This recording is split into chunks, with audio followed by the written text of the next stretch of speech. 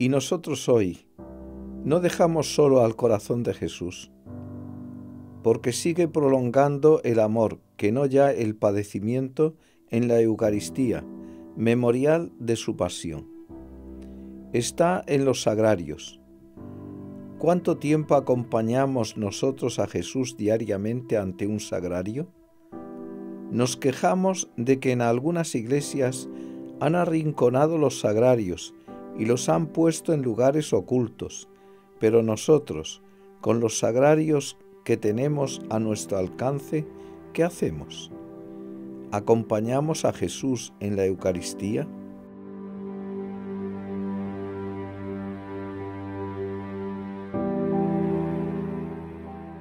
Soledad del corazón de Jesús en nosotros mismos. Somos sus predilectos, sus íntimos, nos ama, está en nosotros. Lo tenemos durante el día como en el olvido. Nuestra propia alma se ha convertido para Él en un desierto, en un hospedaje en que es el gran ausente.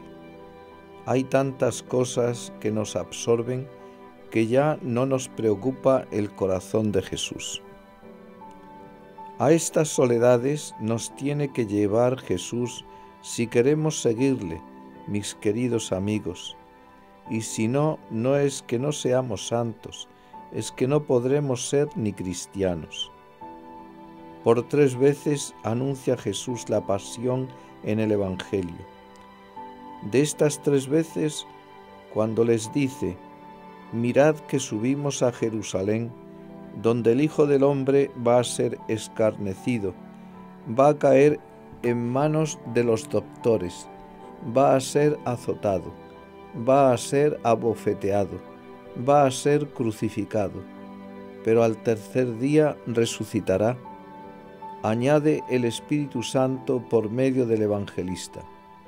Y ellos no entendían nada de lo que les había dicho. Y añade más aún, y era este un lenguaje encubierto para ellos, y no querían pensar en ello. Y les ha dicho, mirad que subimos a Jerusalén. No mirad que subo, sino que subimos y estas palabras nos repite Jesús a nosotros. Subimos. Tú y yo.